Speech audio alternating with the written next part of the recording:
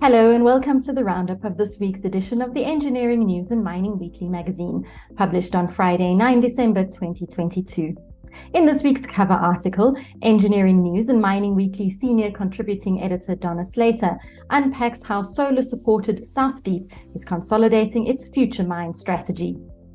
Goldfields Westonaria based flagship gold mine South Deep is entering the final stage of a four part strategic journey it embarked on in 2017 to stabilize the operation, improve sustainability and longevity, reduce operational costs, improve efficiencies, and ensure it meets the criteria to be classified as a mine of the future.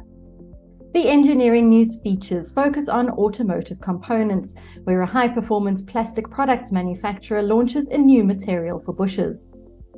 And sugar growers, millers, and refiners, where the health promotion levy threatens the industry's recovery. The Mining Weekly features focus on mine care and maintenance, where the duty of care is heightened on recommissioned mines. This week's business leader is Takura Malaba, country manager of Bolt South Africa. And as this week's cartoon shows, the performance of the South African economy in 2022 has been deflating. The year started with hopes for a solid recovery following two years of COVID disruption. However, load shedding, devastating flooding, and rising crime have all taken a damaging toll.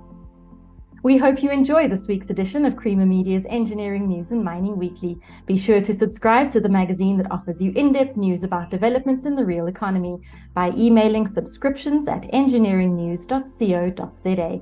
Happy reading and see you next time.